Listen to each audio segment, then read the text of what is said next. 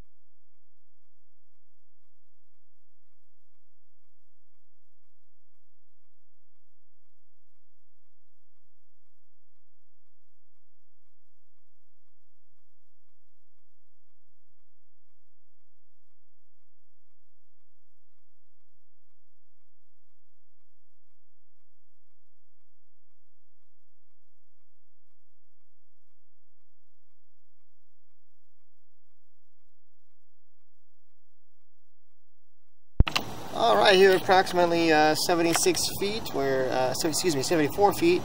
Uh, we are making a uh, connection to the manhole. Uh, once again, uh, from this location here at the manhole, we have inspected it from here to the main. And at this point, we're going to just go ahead and re-inspect the line on the way back.